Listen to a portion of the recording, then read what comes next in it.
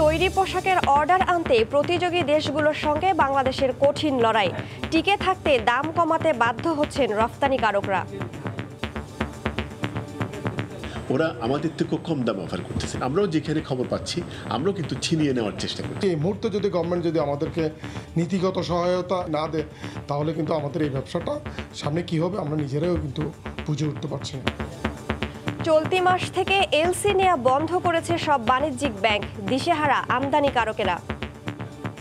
গত এক সপ্তাহ ধরে স্থানীয় বা বিভিন্ন পর্যায়ের আমদানিকারকরা যে এলসিগুলো রিকোয়েস্ট দিয়েছিল সবগুলো তারা ক্যান্সেল করে দিয়েছে। এই র মেটেরিয়াল যদি অ্যাভেলেবল না হয় সেক্ষেত্রে ইন্ডাস্ট্রিগুলো অচল হওয়ার সম্ভাবনা থাকবে। দেখছিলেন প্রধান শিরোনাম সকালের সময়ের সঙ্গে আছে আমি রাইসা জান্নাত। এবার অন্যান্য শীর্ষ সংবাদ। রাজনীতির মাঠে বাড়ছে উত্তাপ। বারো নভেম্বর থেকেই রাজপথে থাকার ঘোষণা যুবলীগের। অপতৎপরতা রুখে দেওয়ার হুঁশিয়ারি গণমানুষের দাবিতে আন্দোলন, জবাব বিএনপির।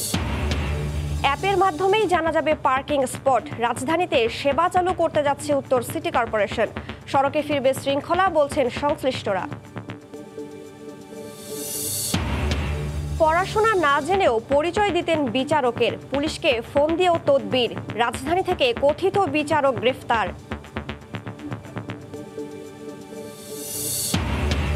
ঝুলে আছে যুক্তরাষ্ট্রের মধ্যবর্তী নির্বাচনের ফলাফল। প্রতিনিধি পরিষদে এগিয়ে রিপাবলিকানরা। তিন অঙ্গরাজ্যের ফল নির্ধারণ করবে সিনেটে নিয়ন্ত্রণ কার। এবং টি টোয়েন্টি বিশ্বকাপের ফাইনালে ওঠার লড়াইয়ে আজ মুখোমুখি ভারত ইংল্যান্ড আত্মবিশ্বাসী টিম ইন্ডিয়া সুযোগ মিস করতে চান না ইংলিশরা।